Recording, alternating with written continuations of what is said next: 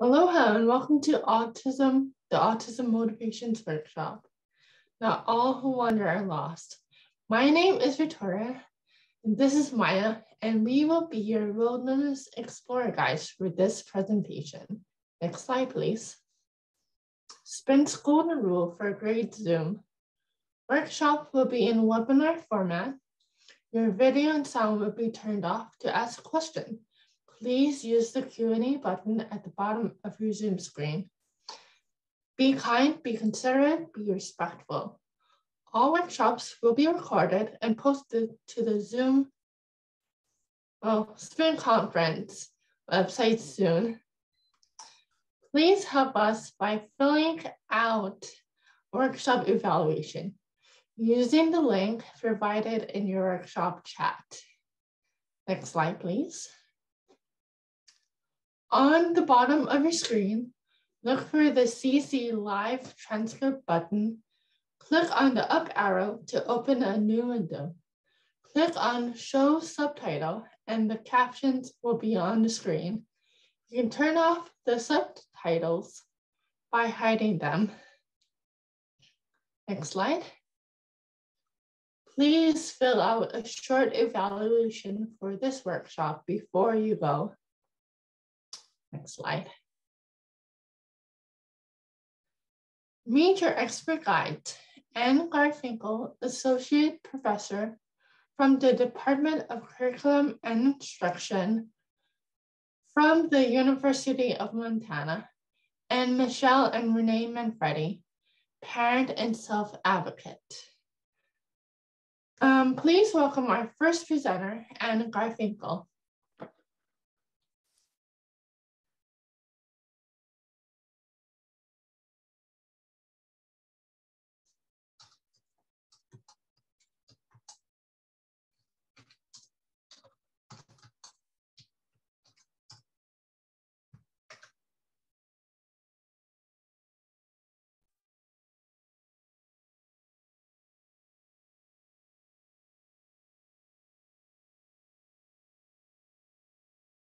Oh, um, Anne, can you please unmute yourself? Oh. Good morning, everyone. Um, I'm happy to be here. I missed the virtual spin last year, but uh, I was with you guys the year before that. So I'm happy to see you. And it's uh, afternoon here in Montana, but morning there. So I hope you had watched the beginning session. I'm going to talk about motiv motivating people with autism spectrum disorders. And the reason I got into that is um, I do a lot of work in classrooms. And, um, you know, people never call me to consult or look at uh, kids with autism. They look call me to consult for kids with disabilities, many of whom, almost all of whom, also have autism. And when I walk into the school, I see a motivation problem, not a challenging behavior problem. And so pushed me to think about um, motivation in a slightly different way. So um, that's kind of the background of this. So I want to just give a general definition of, a, of motivation. It's from the Latin word meaning to energize, activate, or move. It's the insistence of motivating. It's a drive. It's an incentive or, pro, or progress, something to get us to uh, do something. So it's different than an I can't. It's a I won't. So if you're if you can do something and you don't do it, that's a motivation problem. If you can't do it, that's a skill and instructional problem, right? So all the world, all the motivation in the world can't get me to do something I just don't know how to do but motivation can help me do things I already know how to do. So for the general population, um, common motivators would be to minimize physical pain and maximize pleasure, fulfill basic needs like eating and drinking, breathing, to get something, um, or to get a goal state. Um, and there's some less apparent reasons like altruism or some issues around um, people's sense of morality. So motivation is a cause, a process, and an, an effect. Basically, it's the energy that you need to do the action for something you already can do. So the, some of the issues with motivation is when you have have a lack of motivation, um, you can have challenging behavior. You can cry, you can be non-compliant, inattentive, you might get fidgety, you might engage in escape behaviors, you might be tired. And this one's particularly interesting to me. You might show decreased mastery over time. And we definitely see that pattern with a lot of our children and students with autism. They work and work and work, and then the longer they have to do the same task, it looks like they're losing that skill when really it might be that they're just not motivated anymore. So what's interesting to me is when you look at this list of um, what happens when you're not motivated, it's a lot of what we see as challenging behaviors, which kind of goes to talk about what I um, said was one of my leading interests in getting into this topic. So there's all kinds of motivational theories. Um, motivation's a bit well studied in, in business, not surprisingly, but almost every field has a theory of motivation. Um, and, and yet in special education or disability studies, we tend to really focus on the reward system.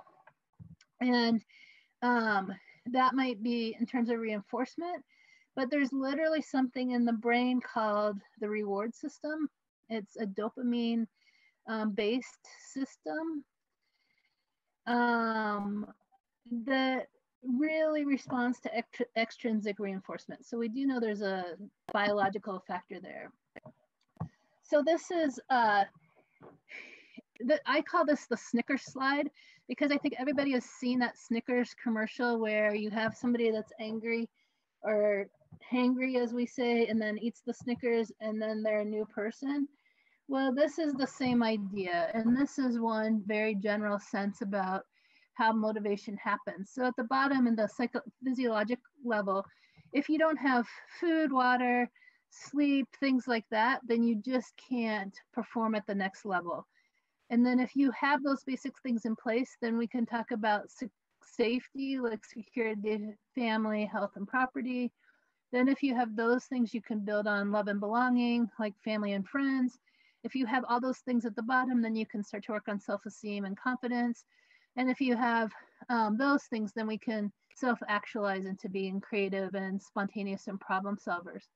And so this is just Maslow's take. This is his view. There's lots of others um, who have variations on this, but this is a good, just general framework for us to think about. And when we think about that, I look at the bottom at the physiologic level, and I see kids with autism suffering from a few of those. So quite a few have breathing issues. Many kids with autism have a restrictive um, interest in food, and often many have um, challenges with sleep. So when I think about the population of people diagnosed with autism, I think sometimes we're in this bottom rung where the basic levels haven't been met. And I think um, one of the things we do with uh, school age kids with IEPs is we spend an awful lot of time on their deficit areas. That's what the IEP is about, is their deficit areas. And so getting up this pyramid to build confidence and get to creativity is is a challenge. And yet, once kids um, get into the adult system, they're asked to do, uh, they're given an opportunity to do things they like. So there's a disjunction between those two systems. So um, there's some other issues that affect our ability to be motivated to do tasks. One is emotion, executive function, grit, which, which is just the staying with something over time, how impulsive somebody is, perhaps the time of day, um, or things that happen earlier in that day, which in the behavioral world we call setting events. And so what's interesting to me about that is um, often people with autism have a hard time um, understanding what they're feeling or at least communicating about it or understanding others people's feelings. Sometimes they have issues around executive function. And so it's possible that our current theories of motivation aren't good fits for people with autism so the general behavioral thought about um, reinforcement is there's a stimulus or an antecedent or something that causes um, somebody to pay attention and then the response is what they do and then the outcome is what happens regard with regard to that. And so in the motivation world it would be you see something or a cue that would start you to to move and then you would do something and then you feel again something good for that reward system so that you continue to do it. So um, i could when we talk about things like motivation the traditional model um, especially in applied behavior analysis which is the primary treatment for people with autism um, i think you got to talk about intrinsic and extrinsic. It's a it's a discussion that's hard to do online um, just and it's a big discussion. So i just want to really say that acknowledge that this exists and that it's um, one of those it's like nature and nurture. People definitely have an idea about it. Um, so i just want to briefly talk on it. So intrinsic motivation is motivation that when you have you're driven by an interest or something inside you extrinsic comes from outside of you right? And some people say that in, intrinsic is more important than extrinsic. And um, I'm not sure the neurobiological science is going to end up thinking that's true. And I'm not sure in the real world that that works. So, for example, um, personally, I'm very uh, internally motivated for my work um, with people with autism, um, and yet I get paid to do it. And so the desire and interest is the intrinsic, but the paycheck is the extrinsic. And I'm not sure without both of those that that's not some, that that doesn't create um, the opportunity for me to do what I'm doing. So I think that the there's a dogmatic portion, but I think in the real world people are not as um, extreme. I think it's a um, a false dichotomy, or perhaps a false dichotomy. So just another view of that. There's some things that have intrinsic value, like belonging, mastery, power, autonomy, meaning, learning, self-knowledge, things like that. And then there's extrinsic rewards, like um, going up levels in a video game or badges or points or any of being on a leaderboard or getting a gold star. All those are extrinsic. So um, people like to divide things into that kind of world. Um, so one of the things I hear a lot, um, especially from parents, but also teachers, is that they will use extrinsic reinforcement to help a child with autism learn something. So the child is asked to perform a task, they perform the task, they get something they like. Um, that's the model of extrinsic reinforcement. So, you know, you do your homework, you get computer time, something like that you um, ask for M&M, you get the M&M. Those would be two examples of um, positive reinforcement. Uh, and I think what happens in the field is we're very much um, ingrained in that world. You do this, you get that. And if you don't, um, if if it's not working, meaning the child or person isn't doing the task we want, it's because what they get isn't powerful enough, not a true reinforcer. So when professionals hear it doesn't work or it stopped working, um, I think people, and I definitely felt this for a long time, will go back to, well, then it's not a reinforcement reinforcer because if it was a reinforcer, it would, by definition, increase the behavior you're looking for. But as always, in my experience in the field of special education, which um, I've been in for over 30 years, um, listening to parents can give us good insights. And so if we really take their feedback of it doesn't work or it stopped working and dive a little deeper, we can see there might be some limitations of reinforcement, especially for this autism population. So there were a couple studies done, um, and Maya will appreciate the Sally Rogers uh, citation here, um, that reinforcement or rewards only work for about half of the autism population. So that there's some data behind that. I would not say that's a well-held belief, but it's an interesting insight.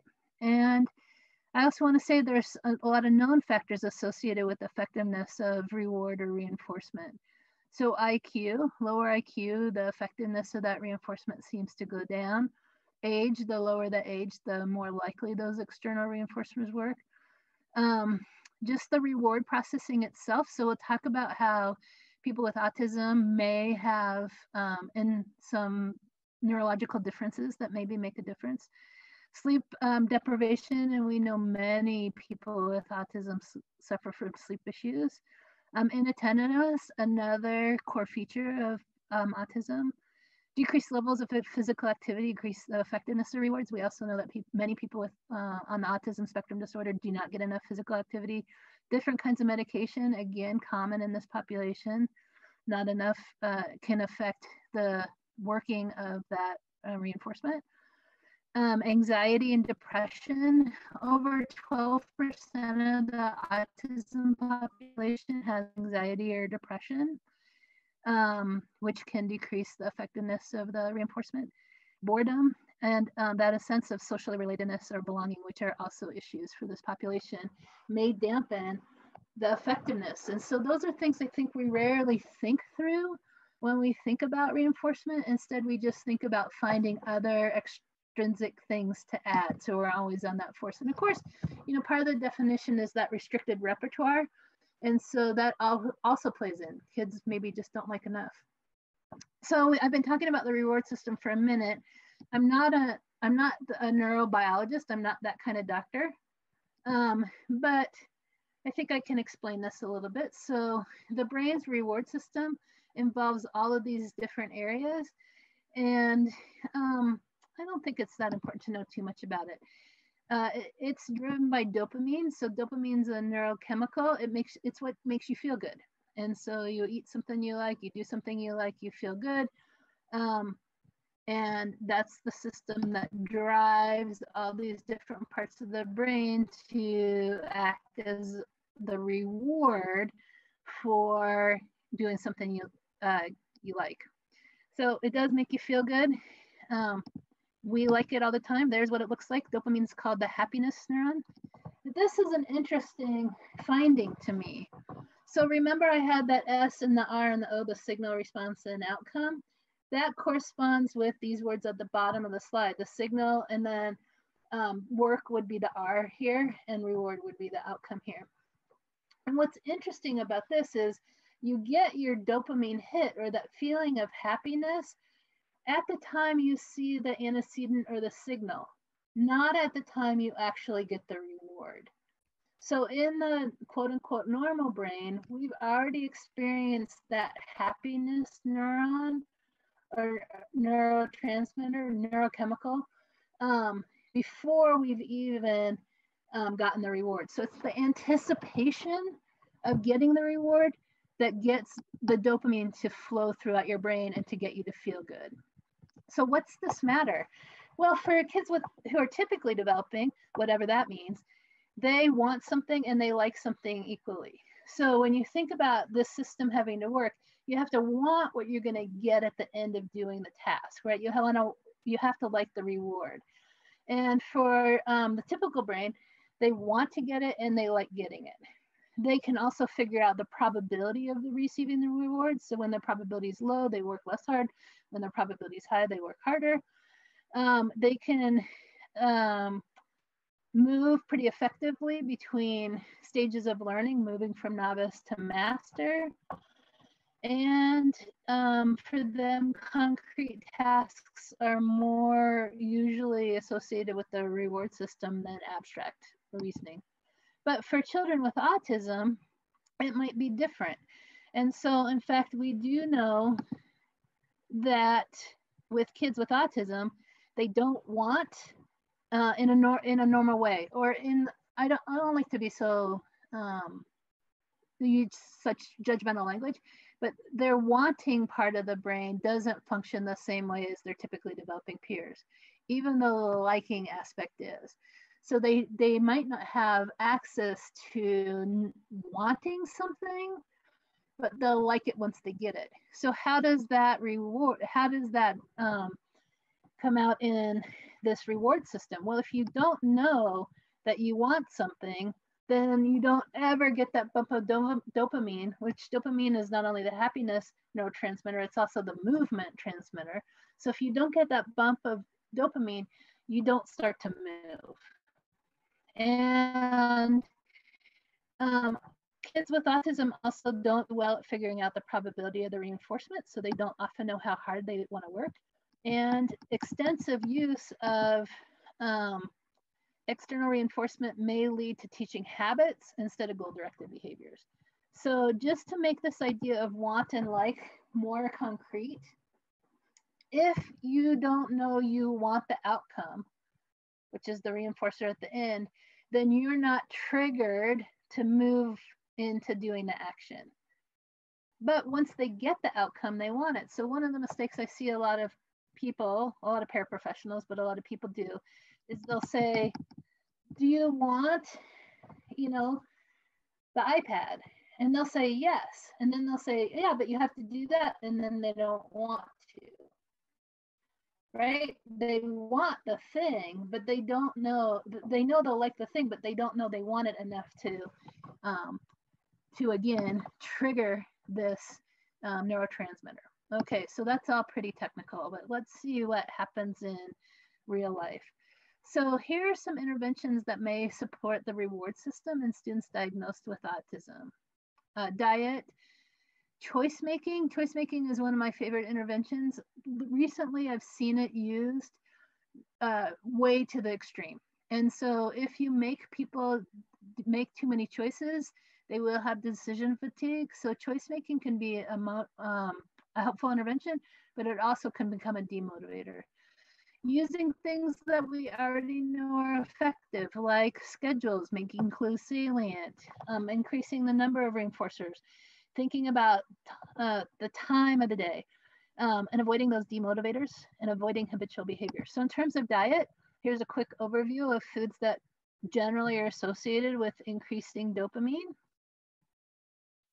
I'm not that kind of doctor either. Um, so how do we usually man, uh, motivate kids to learn? Through praise or encouragement, social relationship, or contingent reinforcement. So here's my simple diagram of learning. Something happens and the some cue happens. You do some kind of behavior, you get some kind of outcome, right? You can also, um, we could make that diagram much more complicated. So let's talk about what we can do at this cue time or the stimulus or the antecedent time. So of course we can use kind of some kind of structured learning, which is you see here. Here's another version of structured learning. Another um, version of structured learning. Here's a task that's been uh, structured, the learning outcome, uh, learning uh, place, environment. Here's another structured task for teaching. And here's a different kind of structure. So all of these things um, is something we could do before we start asking kids to do something. So arrange the environment, make it structured, using kids' interest, varying the task, um, choice making, error-free learning, or the big one is non-contingent reinforcement. So we're all very, um, we're all very knowledgeable about contingent reinforcement. You do this, you get this. But the data actually shows that non-contingent reinforcement, meaning just fun things the kid like is free in the environment and they don't have to work for it, is as effective. I'm going to say that again. It's as effective. The data shows it's as effective as contingent reinforcement, and yet people are worried about using it. So um, Paying attention can also help with motivation. So how do we make the task motivating? Using interest, using the medium they like to use, making sure you're only teaching one thing at a time, using mastery skills to reach new ones, using making things visual, and balancing demands throughout the day. Now, we all know we can also use the consequences of motivation, things like positive reinforcement we just talked about, Schedules of reinforcement are what people call penny boards, where kids um, get a reward, in one case an actual uh, penny, in another case something they like. And then after they earn in each of these cases five of those, then they get access to something else they like. Um, a lot of the kids I work with, if you actually pick those, what's represented by a token or, or the penny or the dinosaur here carefully, they're motivated just to get that. So little boy I work with likes um, I'm not going to get this right, but like all of the, the, masters of the universe or something. So he, every one of those superheroes he earns, he's very motivated to complete the whole group. And that alone is motivating for him. So we do know there's lots of ways to make this kind of motivation really um, effective, but keeping in mind how hard the task is with how much they're earning is really important, especially when you look over time. So remember the child needs to be able to access the reinforcement in order to be effective. That's one of the things I hear a lot in schools. Um, they'll set up a very fancy earning system, but the children never um, do it, have access to it. So they have no idea if it's effective intervention or not. There is pushback concentrating on those consequences. So thinking about praise versus feedback, feedback would be, hey, you did it. Praise is good job. And for using um, reinforcement properly, we want to use feedback. So we want to tell the kid what they did, not how great it was. We also want to make sure we're um, embedding in their learning these kinds of strategies so that they build the capacity to become more self-actualized. So having an emotional vocabulary that's bigger than mad, sad, glad, learning to motivate themselves and stay regulated, learning to self-monitor and self-regulate will result in determination and all that in, will result in higher levels of self-motivation. So keep in mind that when is this a skill issue, meaning um, it's a motivation issue if the person has the skill but isn't doing it. It's an instructional issue if they have not, they just don't have the skill. So my final thoughts before I pass this on is to remember that there may be real challenges in the reward system of people with autism. They may just have a different, their neural pathways um, associated, associated with uh, dopamine may be different. Motivation is something not just at the end, like we traditionally think of in ABA, but it's throughout the whole uh, process. And think about some of those um, aspects that um, affect uh, affect motivation. I think fatigue, boredom, and low levels of engagement for sure are think something to think about. This is a super new area of research. I've just been working on it the last couple of years, and I think um, maybe it holds some promise. So stay tuned, there's more to come. And thank you for um, my time today. Yep. Thank you, Anne, for a wonderful and eye-opening presentation. Um, oh, just a reminder for um, participants, there will be a Q&A at the end of the presentations. Um, and please welcome Michelle and Renee Manfredi.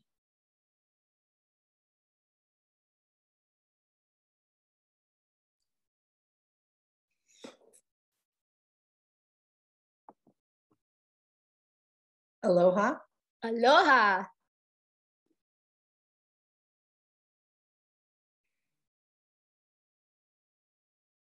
Next slide.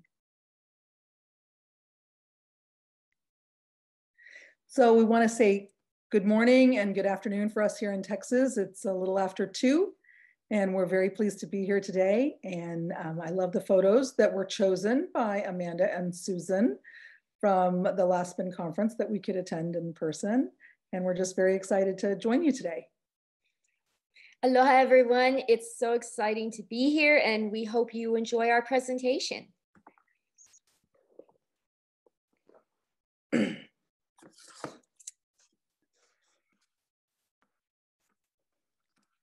I'm going to elaborate a little bit on something Anne mentioned in her presentation, the interest of your child and how this has become a pathway to a freeway for the Manfredi family.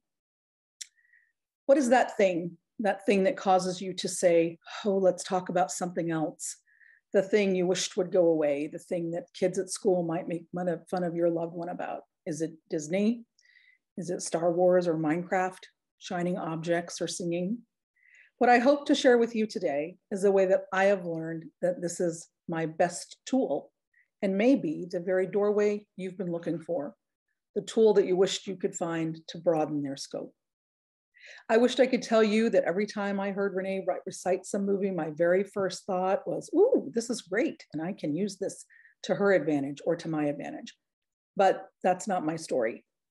My story is of a frustrated mom with a list of goals and expectations before her and her child goals and timelines often set by doctors, evaluations, and IEPs. Through much failing and beating my head against what seemed to be an immovable wall to try to drag Renee into my world and all that my world was asking for her. I ended up leaving the most important tool and opportunity for us out of this picture, her world. Though I tried to respect Renee and all things Renee, shiny beads I crawled on floors to get and chains from the post office that they used to have with pens that I would steal so she could feel them. The numerous Disney movies we own, using these as tools was not something I could see how to do. I often think goals can be barriers to success sometimes, and success seems to be measured by someone else's yardstick very often. I think I lost Renee in those goals, and I'm not sure I ever got to really appreciate Renee for being blinded by all the things she was told in school she couldn't do, but the things that she needed to do, such as counting money successfully or successfully navigating public transportation.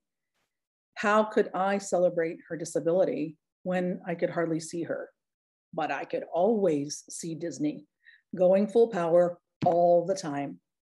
Here she was, incredibly successful, reciting her Disney movies or singing her Disney songs. And this world made sense to Renee. And I began to ask myself, what does success really look like? Is success not including the world she understands? Or is it building in the world she understands? And how could I bridge this gap? And I'll be the first to confess this was a difficult way to think for me. I'm a little anal retentive. And how could I use this looming force before me to bring us together?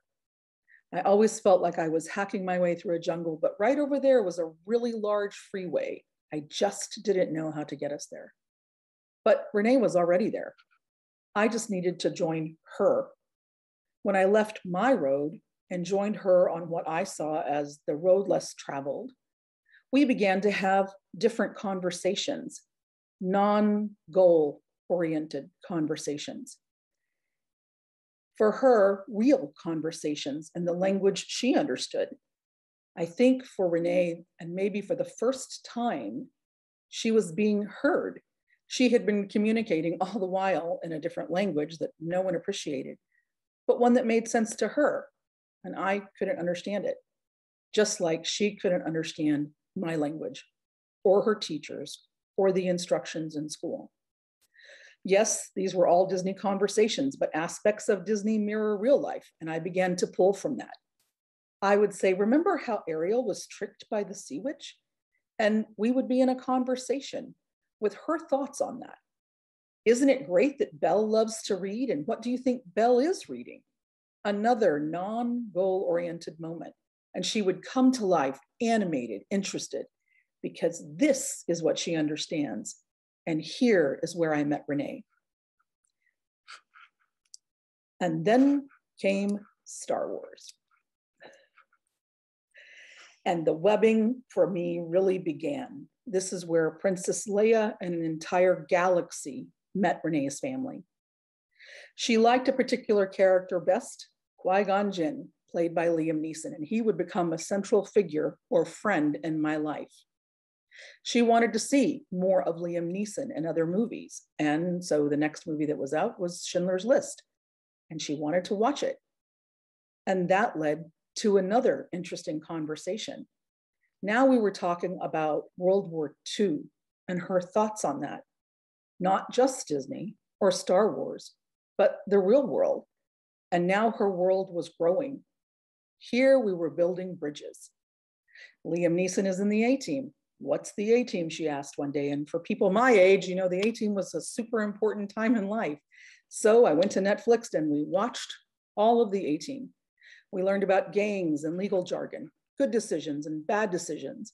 And here she was learning about my world in a way that she could understand and she could connect and transfer ideas.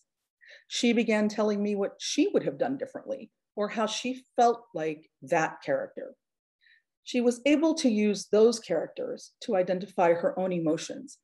And now we were having conversations about her, her feelings, things that mattered to her, how things in school had hurt her, conversations that doctors said would never happen. Quote, you will most likely be speaking for her her entire life. I suspect she will never be able to express her feelings. End quote. I think of that thing that I read, well, hold her beer. This became my bridge from her world to my world.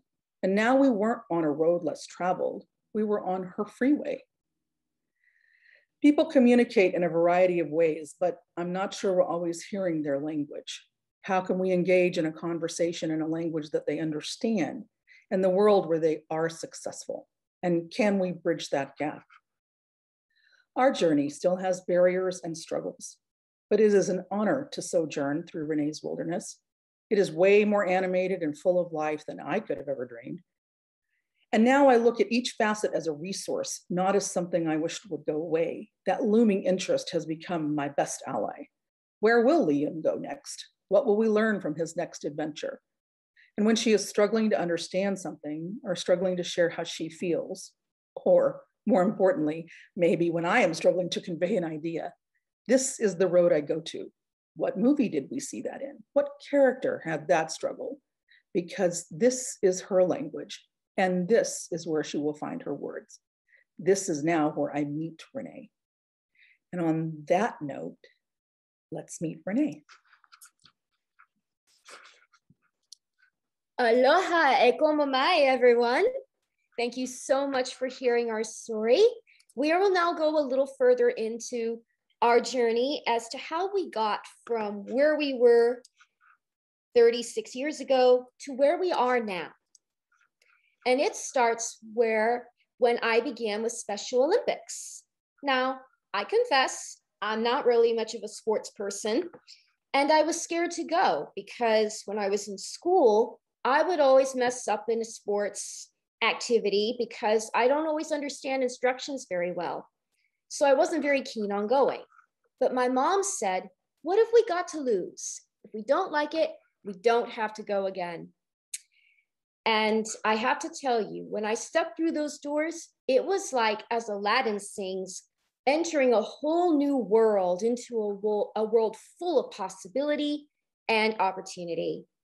And I developed skills I never knew I had, such as self confidence, and I was even able to convey my thoughts, which is where my journey led me to the Athlete Leadership Program, where I learned about public speaking. Here I was scared to go, because I question was, would anybody care? When I was in school, no one seemed to care about what I had to say. And then someone did care. And this was so new to me. Because when I was in school, the focus was always on what I couldn't do, not what I could do. I could sing, but it was as if I was invisible. Next slide. Next slide, please. Next slide. Here I found my voice. And next slide. It seems that now I'd like to tell you about a time in school that still sticks with me. I was in chorus class in 10th grade. I was always in chorus class because I love to sing. And I kept asking my teacher for a chance to do a solo in one of our many assemblies. But each time he put me off, like he never really answered me. It seems to me that when you have a disability, that's all anybody really sees. They don't really see you. And for me, that means that all most people saw was some girl talking to herself or reciting movies or being lost in a class. But singing was something I did understand. I've been singing my whole life, Disney movies mostly, and musicals. With singing, I didn't need any help, and I didn't get lost. Finally, he gave me a very small line to sing. I was so excited. I admit I was scared to be on that stage, but I was so thrilled to be given a chance to be there. Afterward, so many people from the audience came up to tell me what a great job I did. Or they'd say, I didn't know you could sing. And while I am so proud of that moment, it is also a sad memory. My teacher never said a word, like it never happened. Maybe to him, I was still that weird girl. Now, I know no one determines who I am, but I always just hope people give other people a chance you never know where that chance may lead. or how impactful that one moment may be for someone. When Susan and Amanda asked me to sing Over the Rainbow, well, I cried my way through it, but I was beyond grateful to be given the chance. I cannot thank them enough for giving me that chance again today. Thank you, Susan, Amanda. Thank you, SPIN Advisors. And thank you all for being with me today. Now, at this time, I'm going to sing a song that I hope many of you are familiar with. This is me from The Greatest Showman. Uh, I don't think they can see it. Can you take it off background? Fine.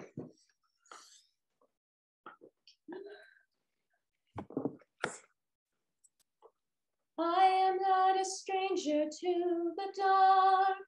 Hide away, they say, cause we don't want your broken parts. I've learned to be ashamed of all my scars.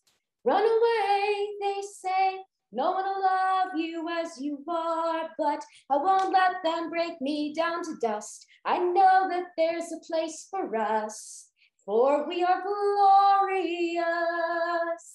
When the sharpest words want to cut me down, I'm gonna send a flood, gonna drown him out.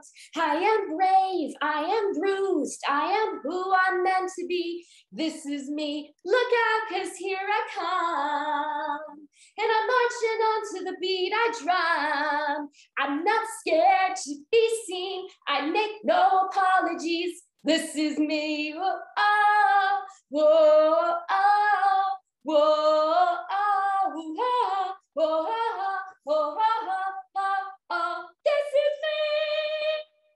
Mahalo nui loa, every, everyone.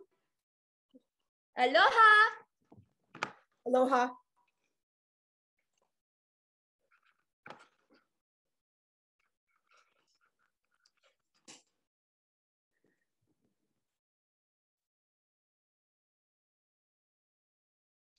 Thank you all so much for joining us today. Thank you.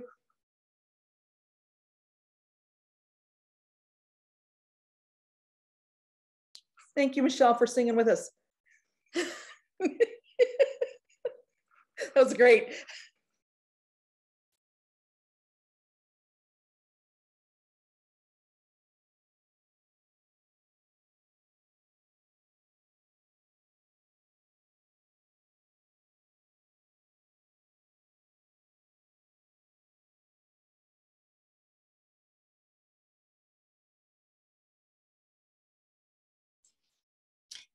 Okay, now we'll do a Q&A session with our speakers. Uh, Victoria, would you like to lead us in that, please?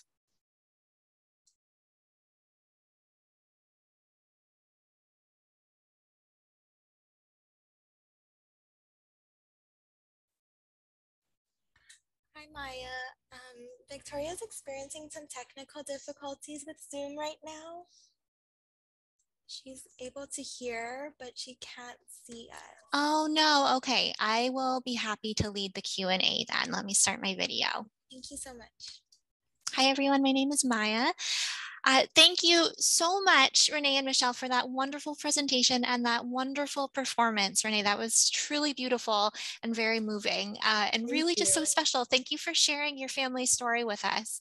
Um, and again, thank you to Anne for a really wonderful and super informative presentation. I thought that was a really nice overview of some pretty you. complex material uh, and you distilled it down really well. Uh, we do have some questions that have come in through our Q&A. Um, Anne has already typed some answers in, but we'll read them out for people who may not have gotten a chance to see. If you do have questions either for Anne or for Renee and Michelle, please type them into the Q&A right now and we will have a chance for them to answer those questions live. Um, I can see there have been a bunch of comments coming through, Renee, about your singing. I don't know if you've had a chance to look at the chat. Um, I see things like good job, look out because you come, so beautiful, awesome. The tears are running down my face. So I think a lot of people were very moved by that. Thank you. Um, so we have uh, a couple questions that I would like to start with. Um, so one question that I hear a lot from parents is, how do you share um, about your child's motivating likes and dislikes with teachers or other people working with them? And this is a question both for Anne as well as Renee and Michelle, um, whoever would like to answer.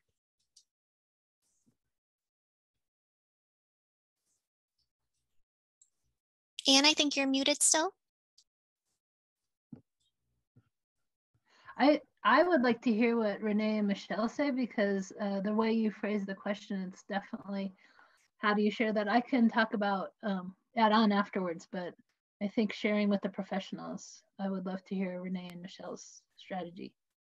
Thank you, Anne. And I would love to be giving a really good answer for that.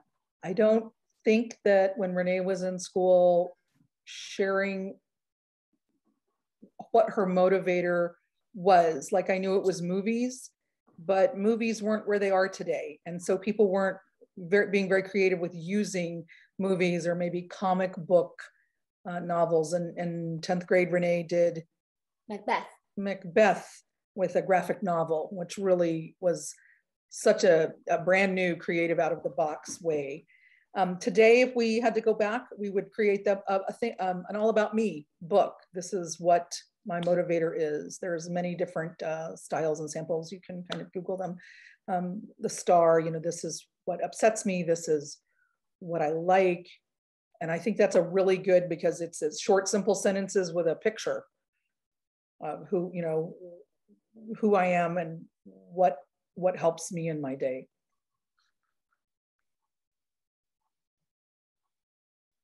Yeah, when I think about um, really helping professionals understand kids motivators definitely helping the professional understand you know it's part of their job to continue to expose the child to more things to see if there's more things they like. I also think that everybody parents and professionals need to keep in mind that motivators change over time. That might be over the course of one's life or it might be in a matter of a few seconds and so really um, i try to build um, a connection to the professionals saying you know you might like pizza for breakfast lunch and dinner for two days but the third day you get pizza it's not going to be the same. Um, so uh, drawing some attention to that i think is important is just how does motivation work in the professional's life so that they can sort of have that perspective. And then I think, um, you know, if you're really successful at capturing motivation at home, sharing how that happens, you know, whether that would have been for Renee, access to movie clips as well as some more singing. Um, I think the All About Me book is great. I think even videos can be helpful so people see what it really looks like. Um, and I do think it's part of our job is to keep um, uh, making sure, despite that restricted rep, uh, repertoire of interests, bringing new things into that those people's lives until they can find that, and then figuring out where the community has value for that, right? So um, if I had to work with a kiddo who loves 3D puzzles, well, where's the community for that? Well, it turns out every one of the residents in his group home wanted a 3D puzzle build of their favorite movie characters. It turned out that was really easy to parlay into making things like um, bird feeders and other um, things that would have a bigger audience. So I think um, thinking broadly, thinking of this as a consistent lifelong thing we want to talk about and then um, drawing it back to the professionals and their own experience with motivation um, is key. And I really, one of the chats I answered, I do think about, we don't think about demotivators enough. I think we spend a lot of time thinking what a child might quote unquote work for. Um, and not what kind of barriers we might be putting in place that um, are taking away the motivation quality. So I hope that was a broad answer, but I hope it was helpful. And I, would like to join in what Anne said about, you know, continually exposing. So what I learned to do through the movies that Renee liked was to web from that. This is an interest, and we can web to another interest, and to another interest, and to another interest, and bring them all. So if you have people on your team that you know will take just a little bit of time to listen to what your child is talking about and where else can that you know where's the connection with that right this character is also in this movie can that can we move to there yet i think is you know building bridges all the time Thank you so much for those wonderful and thoughtful answers. Uh, we had a couple more questions come in through the Q&A. Um, I believe this one is for Anne. Um, you briefly talked about non-contingent reinforcement. Can you give examples of this in the classroom and home setting? Uh, I feel like this is what motivates my child during his OT sessions, and I'm glad I now have a term for it. Contingent reinforcement doesn't seem to work as well for him. Yeah, and I, I mean, this is another, will I kind of put into practice what I just talked about. So if you think about yourself, if you had to work for everything that you liked, that would be tiring. Whereas if you get access to what you like just in your environment, I mean, that's how we set up our homes as adults. You can see why that would have um, a mot- just a feel good, but also a motivating, um, be, it could be motivating. So here's a couple examples of non-contingent reinforcement.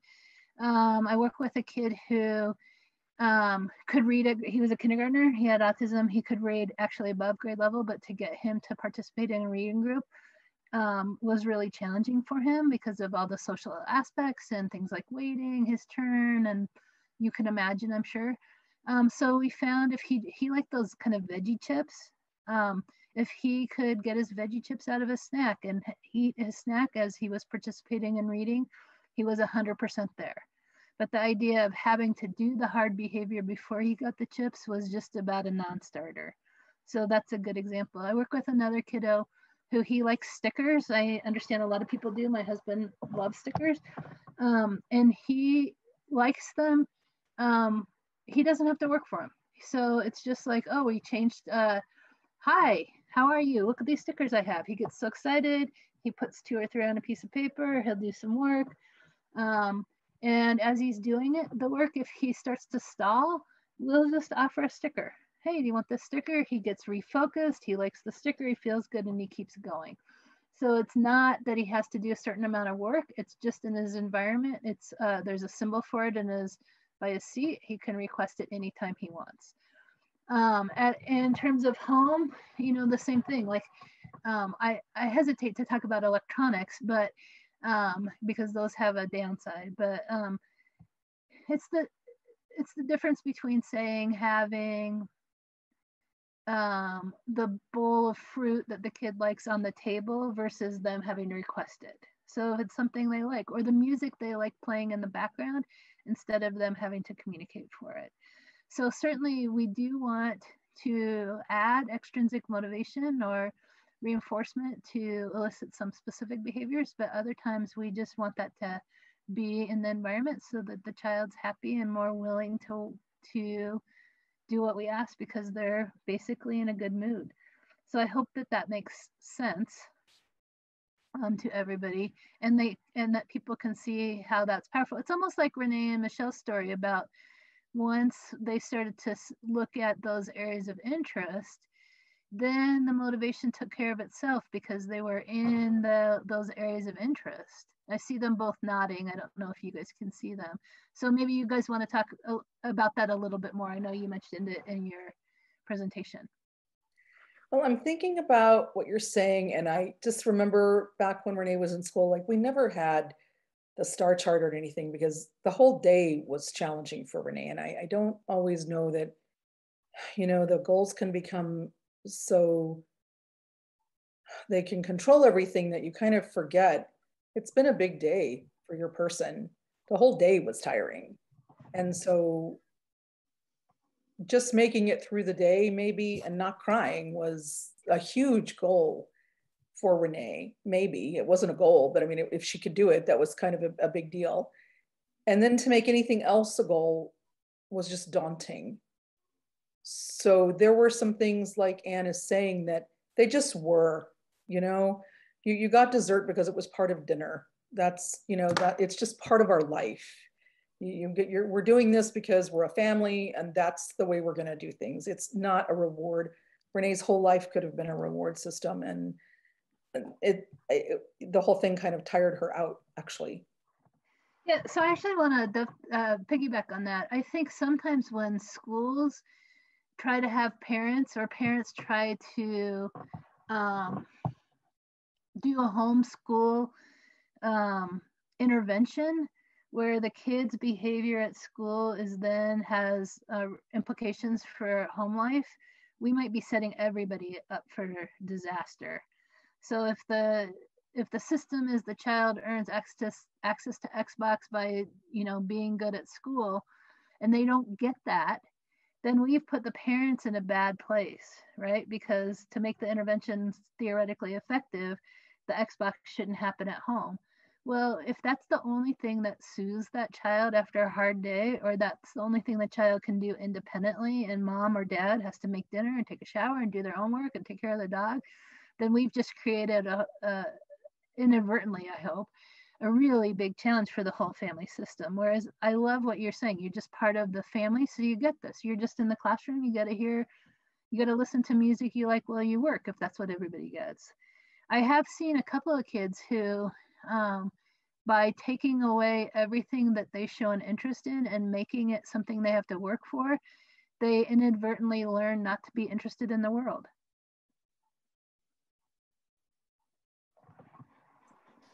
Thank you both for those really insightful comments. Um, we had another question come into the chat and we only have a few minutes left in our session. So I'm going to read it out, but maybe we can keep our answers to this question fairly brief.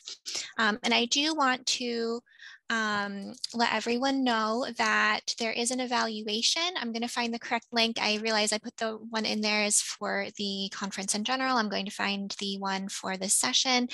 Um, and I will post that in the chat. So if everyone could please do that before leaving, that would be great. So the final question is, uh, is there a way to adjust the IEP goals to reflect a child's interests and motivations? Um, this came from a teacher and she agrees with you that it's deficit focused instead of interest focused. I think there's a quite a few ways to use the IEP document um, to reflect that. So in the child strengths and interests, both from the family and the educators, they could be stated there. But I think we underuse the supplemental aids and services aspect of the IEP, where we can really say what time, where, and under what conditions does the child get that. Um, I worked with a kid who always had a video playing. and It was just like his white noise, and that was specified in the um, supplemental aids and services. Um, and I also think you can think about positive skills. So you can only teach one thing at a time. So if a child really likes so doing something, then can the goal be to do that with um, typically developing peers or do it in multiple environments or something like that so that we um, use the IEP to teach those um, skills, um, even though they're not, maybe it's something that child already can do, but teach them in new environments, that might be hard. So those two things come to the top of my mind. I don't know if you had any success about doing that in the IEP. It sounds like after you got away from school was easier for you guys, but. Um, yeah, it was a little bit easier after. We appreciated the teachers, like I said, the one that, you know, used the comic book. So she recognized uh, Renee's interests in cartoons and Disney and this was her approach. So we still did Macbeth, we still followed the curriculum. It was just done it like in a different way. Um, that's something I think that maybe a lot of people struggle with is how to be focused more on the positive in the cans than, than the can'ts, but still have, you know, realistic and achievable goals there. Um, I, I, that's something I think could be a long conversation. Well, That's thank you so answer, much. Just a thought. No, that that's a great answer. Sometimes it's just something we need to think about and talk about more with people. Um, so once again, thank you so much to Anne and thank you so much to Renee and Michelle. This was such a great session. Um, there is one question still in the Q&A for you, Anne, if you want to answer that via chat and the person who did that can stick around just for a minute. Um, okay, I'm going to go ahead and end the session. All right, thank, you all. Anne. Thank you, Ian. Thanks, everybody. Great presentation. Yeah, awesome. Good job, guys. Thank you.